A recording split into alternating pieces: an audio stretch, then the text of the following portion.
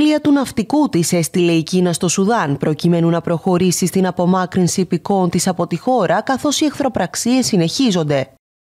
Από τα μέσα του μήνα μένονται μάχες ανάμεσα στον τακτικό στρατό και παραστρατιωτικούς ηγέτες των οποίων συγκρούονται πλέον ανοιχτά για την εξουσία.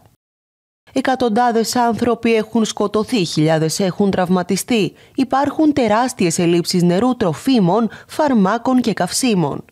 Το Πεκίνο ανέφερε τη Δευτέρα πως απομάκρυνε μια πρώτη ομάδα πόλητων της Κίνας και εκτίμησε πως προτού αρχίσουν οι εχθροπραξίες στο Σουδάν ζούσαν κάπου 1500 Κινέζοι. Η Κίνα λέει πως είναι ο μεγαλύτερος εμπορικός εταίρος του Σουδάν. Πάνω από 130 κινέζικες εταιρείες έχουν κάνει επενδύσεις στη χώρα και ασκούσαν δραστηριότητες εκεί στα μέσα του 2022. Περίπου 800 Κινέζοι πολίτες απομακρύνθηκαν εσπευσμένα από το Σουδάν διαθαλάσσης μεταξύ 25ης και 27ης Απριλίου ανέφερε η Μαουνίνγκ, εκπρόσωπος του Κινέζικου Υπουργείου Εξωτερικών. Πάνω από 300 μετέβησαν σε γειτονικές χώρες με χερσαία μέσα, πρόσθεσε η ίδια.